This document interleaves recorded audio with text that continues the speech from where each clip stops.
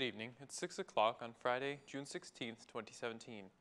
Welcome and thank you for joining us tonight for the English edition of Ora News, where we bring you today's top stories, translated into English every weeknight.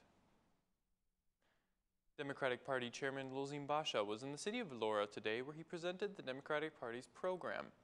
Speaking from Vlora, where the Prime Minister is running for the mandate of Member of Parliament, the DP chairman said that the Democratic Party's program is similar with that of the administration of the U.S. President, and according to Basha, he will take the country out of the crisis. Once again, the DP chairman reiterated his call to the Prime Minister to confront in a public debate and present their economic programs, stating, I know he does not understand economy at all, but this is the time to go in front of the citizens and to tell them your plan. My plan for the economy is the only solution. New Republic is coming. My plan for the country's economy is similar with that of Trump. He's afraid to confront with the truth, and he thinks of finishing the campaign with lies. According to Mr. Basha, the Prime Minister does not have a balance of sheets of his achievements and that the Lungomare project in, Vlora has been made for the Prime Minister's benefits. Promising tax cuts, the DP chairman also offered a solution to the hunters, promising to remove the Prime Minister's moratorium if, on hunting if he wins the elections. According to the DP chairman, hunting has been prohibited in order to not to discover the plantations with cannabis. In a media outlet, the vice chairman of the Socialist Movement for Integration, Luan Rama, declared that the SMI supporters who participated in yesterday's activities of the SMI are being threatened with their job position. Mr. Rama gave assurances that all those who were unfairly dismissed will be returned to their job after elections, stating, I have a message for all of those employees who are illegally dismissed for political revenge, and those who will be unfairly dismissed not to worry because they will be returned to their jobs on June 26th. Unfortunately, people who attended the SMI's activity last night are being dismissed. This is shameful and shows the fear and panic of, at the Renaissance's camp, but this makes us stronger. Vice Chairman thanking the Minister of Interior for the commitment of Tirana's police to maintain order during the SMI's activity.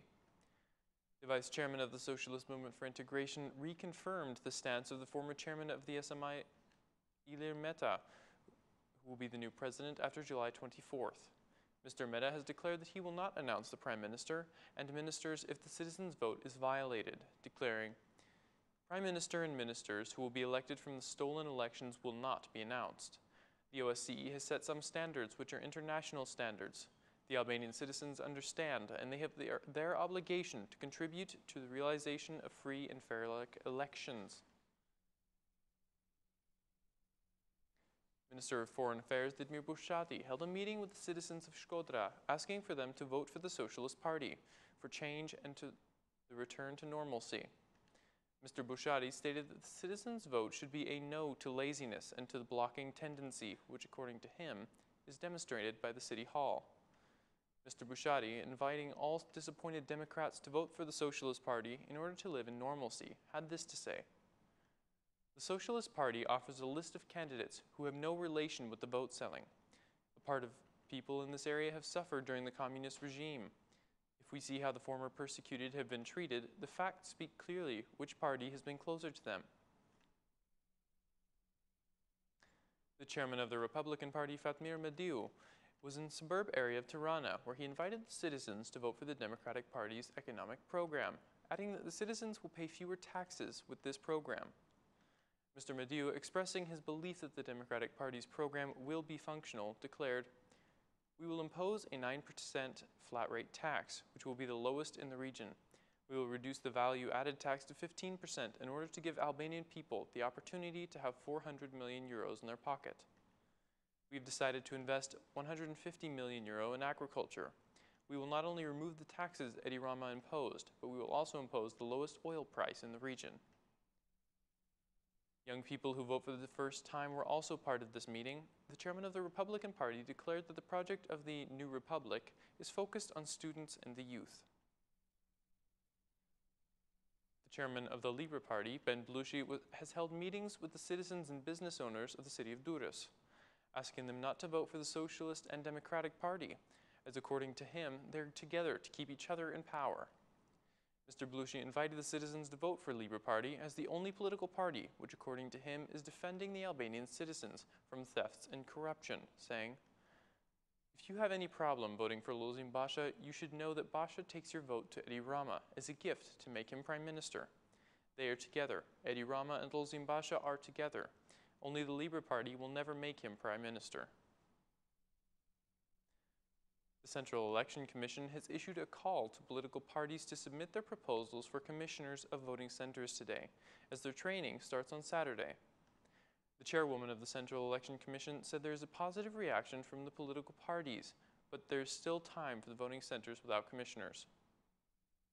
Even though the Central Election Commission has continued to issue calls, the commissioners for all voting centers have not been proposed yet. The Central Election Commission is following the situation regarding the appointment of the, of the members of voting centers. There is a positive reaction from political parties after yesterday's appeal, but still we have we continue to have no proposals for commissioners in some voting centers, said the CEC chairwoman. The training of the commissioner will start tomorrow afternoon from 4 to 6 p.m. in order to avoid any obstacle of people who work in the public administration. The significant reduction of the quantity of coffee that has entered Albania in the period of time from January to May 2017 has raised suspicions to the Minister of Finance for smuggling coffee. For this reason, the Minister of Finance has ordered a number of checks and verifications to discover the reason of the decline of the amount of coffee that has crossed the custom point, which is a decline with 500 tons of coffee compared to the quantity of coffee that has entered Albania in previous years, and when the level of tax for this product and its consumption have not changed. Ora News has the document of the Ministry of Finance dated June 15, 2017, which has been sent to all officials of the custom points. In the letter, the minister orders a control of the operators who import coffee in Albania. According to the order, the control will be made by the Custom Points Administration in cooperation with the structure of the economic crime. Another point of the letter is the immediate identification of the quantity of imported coffee to Albania and the sale records during the last year by verification of the bills. The minister has also asked for the confirmation of the quantity of imported coffee from the custom points and the, and the countries of origin. The minister is asking for continuous checks for this product and other products which are considered to be of, his, of high smuggling risk. At the end, the Minister of Finance asks to be informed of any preliminary results, the conclusion of the investigation or verification, or for any response from the partner countries. Tirana's mayor, Erion Veliaj, was in the area of Farka where he presented the work of City Hall in the last two years. The mayor declared that the City Hall's focus will be to improve the infrastructure of the suburbs, which are no longer part of the capital after the territorial reform. The mayor announced that the ticket price for the buses of some suburban areas will be reduced after the City Hall's negotiations with the urban transport operators.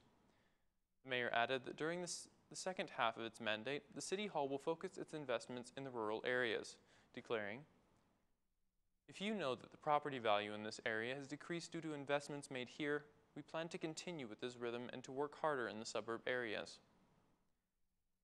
Mayor, calling on the citizens of Farka and Petrela areas to vote for the Socialist Party, announced that the investments will continue only if the citizens vote for the continuation of this government.